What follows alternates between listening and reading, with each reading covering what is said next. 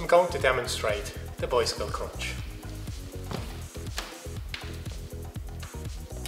Hands on the side of the head are the temples.